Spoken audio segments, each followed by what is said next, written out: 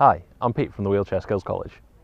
In this video, we're going to look at how to reduce the risk of hurting yourself when you fall backwards.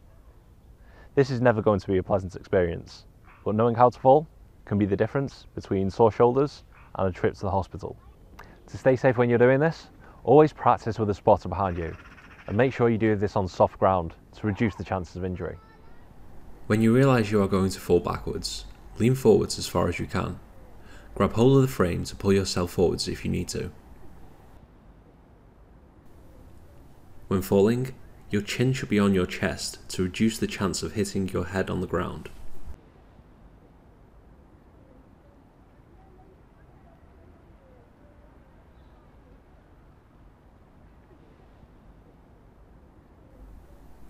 When on the ground, take a moment to compose yourself, then lift your legs out of your chair and sit up.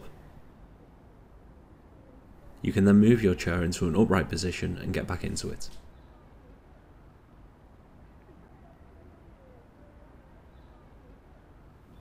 If you found this video useful, give us a like, share and check out our channel for more wheelchair skills videos.